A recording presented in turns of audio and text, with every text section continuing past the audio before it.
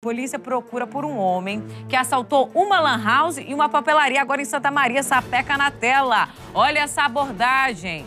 Vamos ver aí as imagens do circuito, o momento em que o criminoso entra no estabelecimento.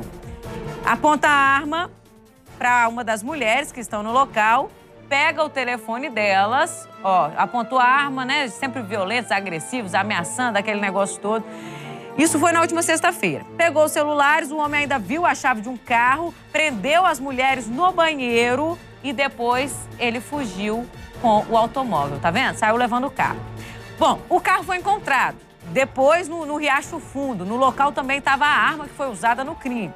Só que o homem continua foragido. Então, por que, que eu quero que você veja bem essas imagens aí da ação dele?